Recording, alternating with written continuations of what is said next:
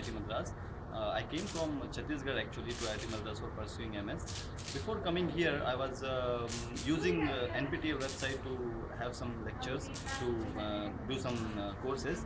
Um, and after coming here also I attended the courses in the classrooms. What I feel is there is no uh, difference at all between the what uh, what has been uploaded to the NPTEL website and what is being uh, taught in the actual cla- live classroom. This both are both uh, having resemblance. The uh, main advantage what I feel uh, of having the, the program something like NPTEL is like the, um, the depth of the knowledge that we get that, that we get being taught by IIT professors even if you are not in IIT is exactly same the, um, the IIT professors uh, teach in the same manner and the same uh, with, with the same depth which they used to teach in um, uh, their their own classroom. So it has been very very useful for me uh, for getting proper knowledge of the subjects. And here also it is coming um, uh, handy to me in my research. If, if I want to uh, have some subject uh, done, then I then I, then I just access to the NPTEL website and have um, um, and do my subjects there. So it's a kind of very helpful uh, thing to everybody of us, and I think um, we all should make it make a proper use of it,